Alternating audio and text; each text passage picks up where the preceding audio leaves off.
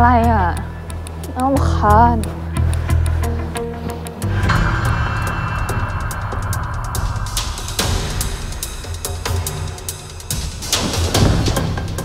ใครอะ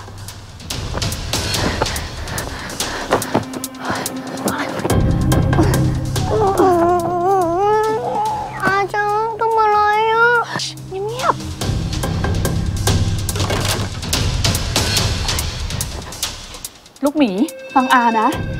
ตอนนี้อาจจะมีโจรอยู่ในบ้านเรา แต่ลูกหมีต้องเงียบๆนะ ไม่ต้องกลัว เดี๋ยวอาโทรแจ้งตำรวจเอง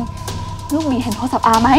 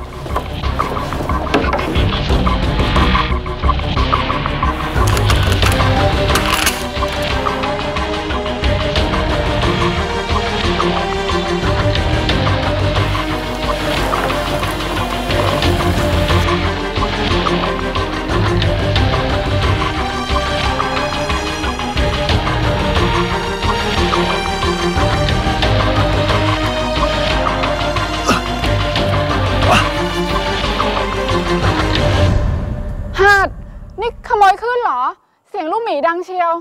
ครับ โทรแจ้งตำรวจที แล้วพาปุ๊กกี้ไปหลบก่อนครับจ้ะหัดดูแลตัวเองด้วยนะ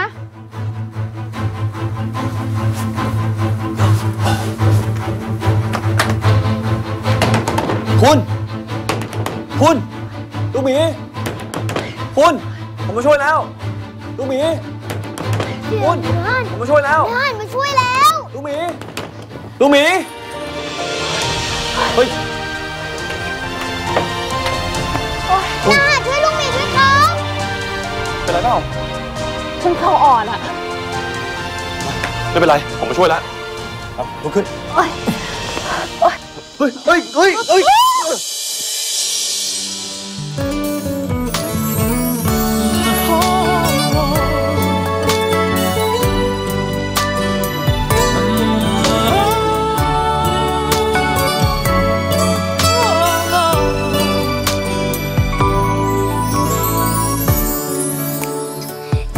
กันอีกนานไหมครับ